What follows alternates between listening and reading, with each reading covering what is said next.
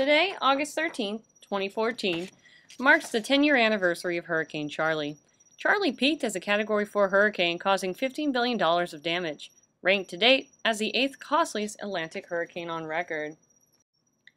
Charley passed over the Dry Tortugas at around 7 a.m. on August 13th, with maximum winds near 110 miles per hour. By the time Charley reached the Dry Tortugas, it came under the influence of an unseasonably strong trough that had dug from the east central United States into the eastern Gulf of Mexico. In response to steering flow on the southeast side of this trough, the hurricane turned north-northeastward and accelerated toward the southwest coast of Florida, where it began to intensify rapidly. When Charley hit Fort Jefferson and Dry Tortugas, it caused extensive flooding and damage to the park. This was due to strong incoming waves and an estimated 6-foot storm surge. For the lower to mid-island chain, strong winds took down trees and power lines.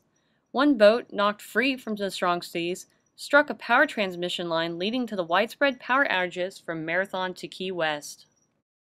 After leaving the Florida Keys, Charley would move on to produce nine confirmed tornadoes the same day.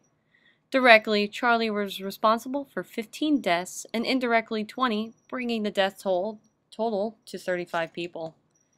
Because of Charley's effects after the 2004 hurricane season, Charley's name was retired.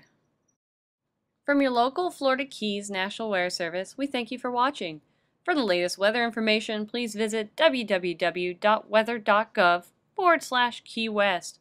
Also, please feel free to subscribe to our YouTube channel join us on Facebook, or follow us on Twitter.